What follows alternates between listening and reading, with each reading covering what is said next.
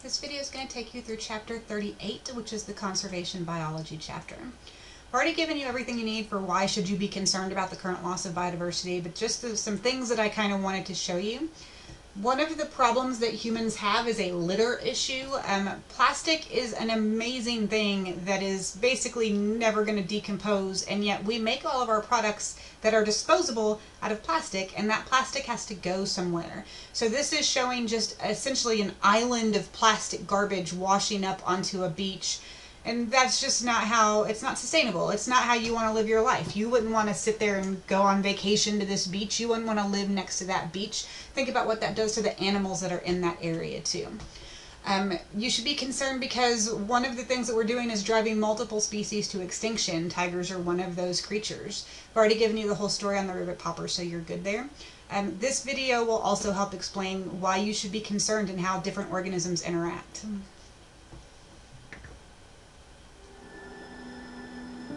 Peru, along the base of the Andes Mountains, lies the Manu Biosphere Reserve. Covering about 4.5 million acres, it's the largest and most undisturbed tropical rainforest in the world. Here, more species of plants and animals are protected than in almost any other place on Earth.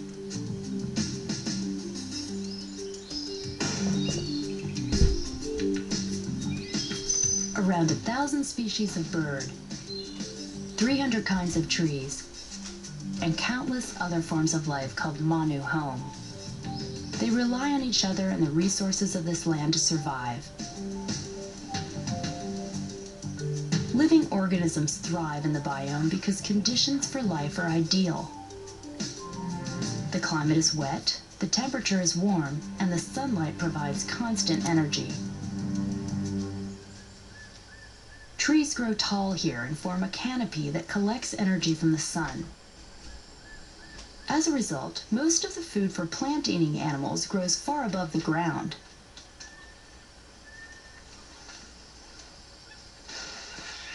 To find food, animals must fly, leap, swing, and climb to get the food they need. Zoologist Dr. Carol Mitchell has been studying monkeys in the Manu rainforest for 12 years. For two of those years, she followed a troop of about 70 squirrel monkeys. She learned how they gather food and where they fit into the larger food web. I actually had always wanted to uh, study monkeys, and I was always intrigued by tropical forests. And in tropical forest, you find the greatest diversity of animal species. She quickly discovered that squirrel monkeys don't work alone. Instead, they get the nutrients they need by associating with another species, the capuchin monkey.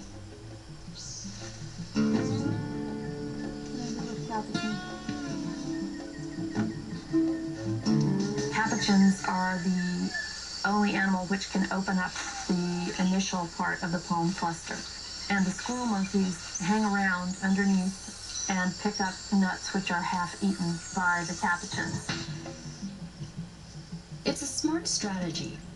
Palm nuts enhance their diet by giving them an important source of oil and calories. Squirrel monkeys consume a richer variety of food by scavenging around the capuchins. During her time with the squirrel monkeys, Dr. Mitchell determined their place in the intricate ecology of the rainforest. Squirrel monkeys are very crucial in the web of life. They are uh, one of the prime consumers of insects in the rainforest, and also they are one of the main food sources for a number of raptor species.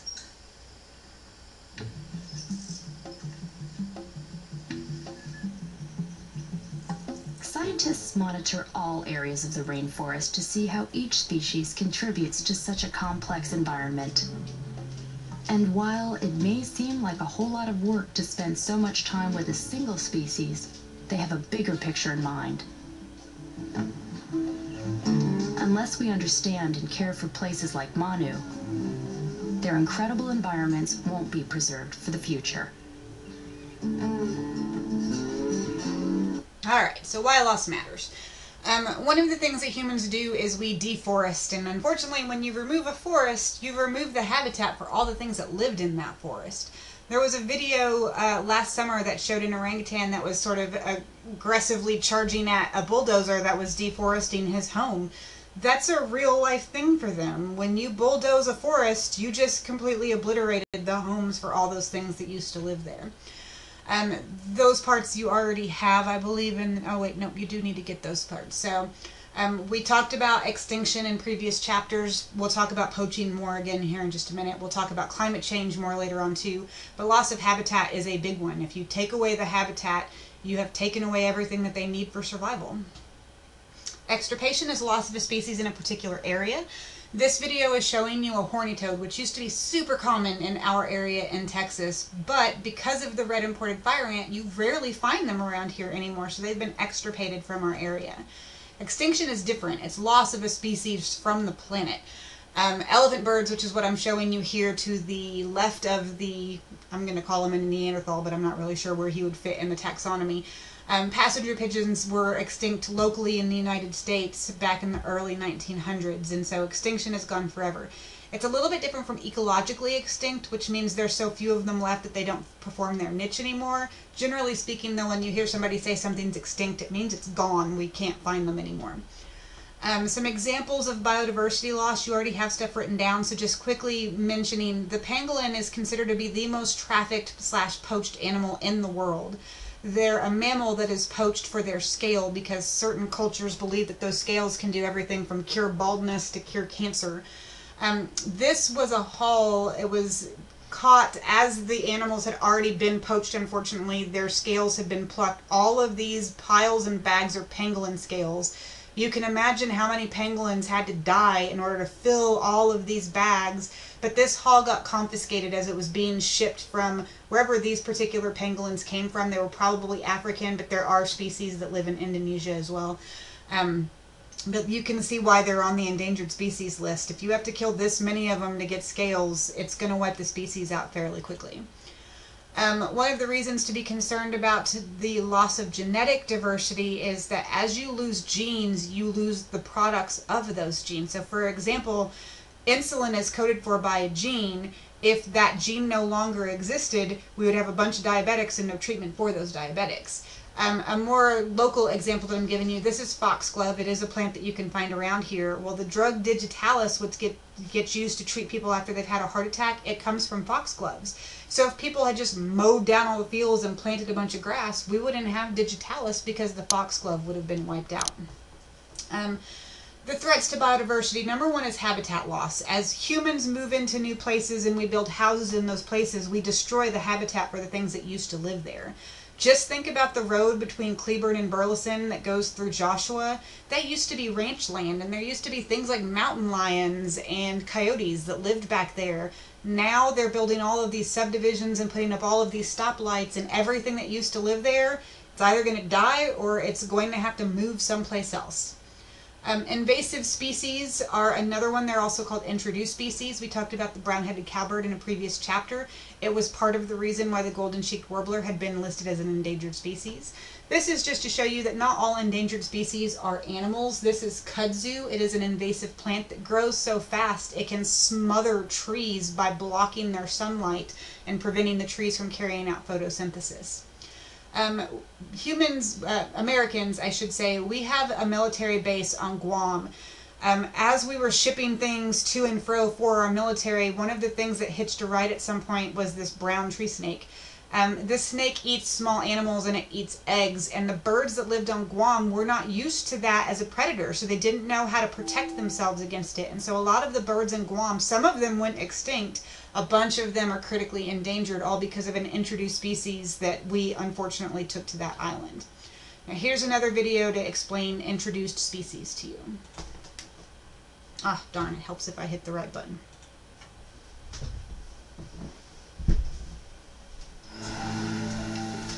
The islands of Galapagos, located about 600 miles west of Ecuador, are famous for their unspoiled beauty and unusual animal life. Creatures like giant tortoises, flightless cormorants, and swimming marine iguanas evolved in relative isolation here.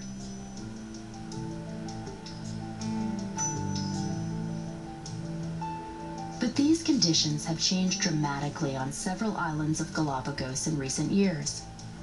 Today, more than 15,000 people are permitted to live in designated areas.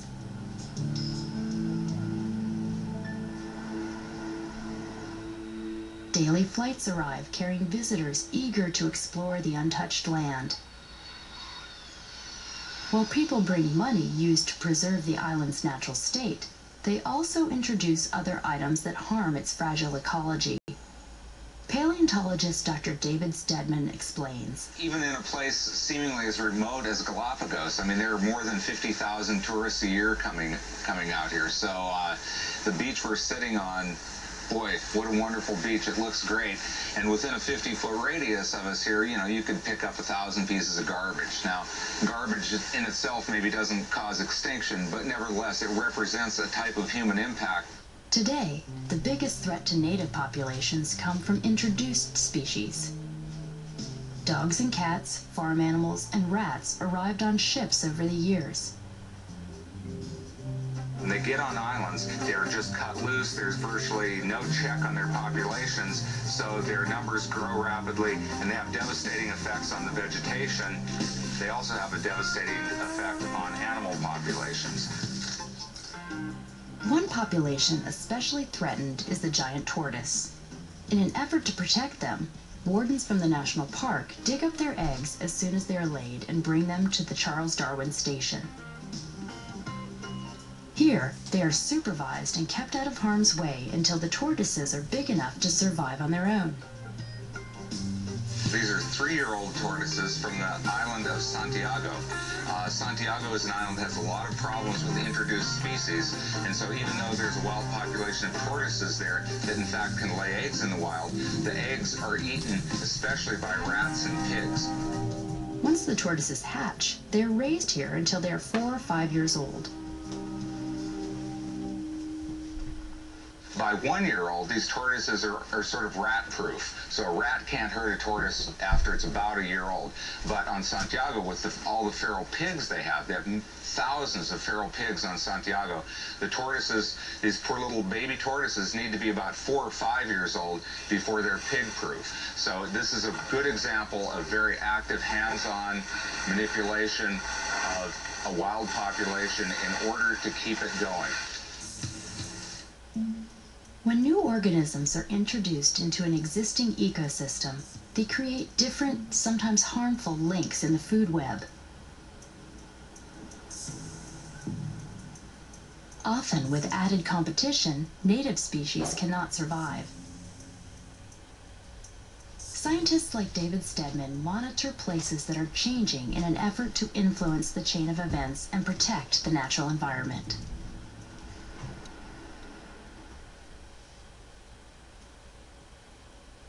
Okay. Up, you have overharvesting. This means that it's something that it's a population that you're trying to manage, but people are taking more than they are allowed to take. So this would be like you're allowed to shoot three deer during hunting season, but instead you kill five deer during hunting season. Overharvesting is what made the passenger pigeon go extinct. Um, this was a North American bird that the flocks used to be so big that they would literally darken the sky like it would turn to night in the daytime as the flock flew overhead so people thought that there were so many of them they could kill as many as they wanted and then the population crashed and now they're extinct the Atlantic cod fishery is also in danger because of overharvesting. The Pacific side is doing okay, but the Atlantic cod fishery um, is not managed as well as the Pacific side. Um, I think there's a gross picture on the next slide. It's a disturbing picture, so I wanted to warn you about it. Um, poaching is what you guys have next. It's a type of overharvesting. Poaching means that you are illegally killing an animal, so it is illegal to kill elephants, and yet they are poached in Africa for their tusks. Um, what's really sad about that is they, they kill the animal and then chainsaw their face off because all they want is the face. They don't want the meat, they don't want the organs. All they wanted were the tusks that were on that animal. And so that's what happened to this elephant. Um, poaching also affects other species, and here's the problem that is associated with poaching that more people are going to care about, especially right now with COVID 19. COVID 19 is believed to have jumped to the human population because a human ate something that should not have been eaten. So they ate a poached animal. There's debate ongoing about whether or not the animal that was eaten was a bat or a pangolin, but whatever it was, they ate something that they shouldn't. Anytime we eat something that can transmit disease to human beings, that is bad for our population as a whole, not to mention bad for theirs. It's especially bad when you hunt things that are kind of closely related to us, like primates. Um, it is believed that HIV got into the human population because of a disease that's called simian immunodeficiency, um, which is something that chimps and apes can get. And so, as a poacher was preparing their meat from either a chimp or a gorilla, the blood of that animal got onto them, and the virus was closely enough related that it was able to jump into people and then start causing disease in those people. So, poaching is never a good idea. Climate change is also affecting species. So this picture is a polar bear that is quite literally starving to death because there was no ice in his area during the winter that year. And they need ice in order to hunt. Uh, the photographer who took this picture talked about how heartbroken he was to see this because he had food. In theory, he could feed the polar bear, except it's illegal for you to do that. You're not allowed to feed the wildlife. Um, it tends to make them more dependent on people. And with polar bears, that's bad because they are murdery little bears um, they can't go farther north. They're already as far north as you can get, so there's not enough ice floe for them to be able to survive down here anymore. Next up, ozone layer isn't talked about all that much anymore. But back during the 80s and 90s, you couldn't couldn't fix your hair without hearing about it, um, and that's because propellants that were used in things like hairspray they were made out of CFCs, which are chlorofluorocarbons, and those bind with the ozone that is up in the atmosphere and they convert it to a different molecule. So it created this hole in the ozone layer. And the ozone layer is a protective layer that's up in the upper atmosphere that prevents some sunlight from hitting the earth so that it helped to keep us nice and cool. Well, the hole allows more sunlight in in that area and so it's one of the things that can be contributing to the increase in temperature that's happening right now. Um, although the hole is starting to heal itself, it is still there. You guys already have biological magnification um, written down and you have examples of that. Um, you already have your how is the climate changing thing written down. This GIF always takes a second to load, but what this is going to show you is average temperature during the course of the year since we began recording temperatures. What I want you to notice is how much wider that circle gets as we get closer to the time period that we're in now. So when it was really narrow, it was about a degree and a half cooler than it is in our most recent time. And so this shows you quite clearly it is definitely getting warmer out there. Um, let's see, this I'm going to show you a video to help kind of debunk some of the... Next up we have which human activities are impacting the climate. The primary thing that we're doing that impacts the climate is we're burning fossil fuels. That adds carbon dioxide to the atmosphere and as a video that I'm linking to in Schoology for you guys shows you, when you increase carbon dioxide in the atmosphere, you increase the average temperature on the planet as a whole. Next up, um, how will biomes change? You guys already have that in the notes. What has happened to the wildfire season? It's building hotter, it's burning longer, and the fires are burning more intensely. If you guys remember the campfire that happened last year, um, PG&E's power lines hadn't been properly maintained and it sparked a fire and that fire per, uh, burned down the entire town of Paradise. That is an example of a fire that's burning hot, hotter and more intensely than fires in the past used to do. Um, if you paid attention to the news, 2020 started with basically most of Australia being on fire, and that's because of the increase in the intensity of the wildfire season, not just in the northern hemisphere, but all over the world. Um, what is the impact going to be on uh, animals in relation to climate change? Generally speaking, animals have mobility, so they can move to more suitable habitats if a more suitable habitat is available to them. As we already talked about with the polar bear, they don't really have another option. They're screwed, and that's one of the reasons why they are in danger right now. Um, are all animals going to suffer? No. One of the things that's actually winning because of climate change is mosquitoes are able to extend their range and they take their diseases with them. This gentleman has dengue fever, which is a mosquito vectored uh, viral infection that can happen. And what's extra scary about dengue is if you get it a second time, you are more likely to have more intense symptoms, including death, the second time you get that infection than you had the first time around. Um, what are the goals of conservation biology? To try to save the planet, save people, save the species that are on the planet. Um, pause it so that you can get that definition. Same for landscape ecology. For movement corridor, I will slow down. Movement corridors allow animals to move from one place to another place without messing around with people too much. If it weren't for movement corridors, they would be doing things like using our roads to get from point A to point B. And as we know, people in cars versus animals don't usually fare very well for the animals nor for the cars that we hit them with. Um, for example, there's this is in Canada. They have moose, and if you've never seen what a moose does to a car, I don't recommend YouTubing it because they will obliterate a car and end up inside the car at the end of the wreck. So they make these bridges that allow moose to cross from one side to the other so that they don't get hit by cars instead. Um, Here's your definition of hotspots. United States only has a couple of places. The places that burn in California and then the swamps in Florida are hotspots in the U.S. All the purple regions are hotspots. Madagascar is a hotspot because it has some of the most unique endemic species out of anywhere on the planet, essentially. Um, endemic species I just mentioned, but these are species that are found no place else on Earth, like lemurs are endemic to Madagascar.